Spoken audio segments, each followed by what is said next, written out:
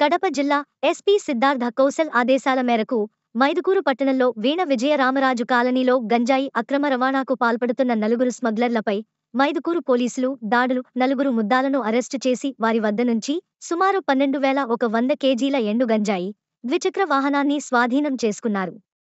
Media సమావేశంలో వివరాలు వెల్లడించిన Maidukuru DSP Venkateshulu Maidukuru urban CI Mastan ఎస్ఐలు ఘన మద్దిలేటి రాజరాజేశ్వర రెడ్డి మరియు వారి సిబ్బందిని అభినందించిన జిల్లా ఎస్పీ సిద్ధార్థ కౌశల్. అది ఉన్నారని చెప్పి సమాచారం వస్తే ఇమ్మీడియట్గా వెళ్ళి వాళ్ళని అరెస్ట్ చేయడం జరిగింది.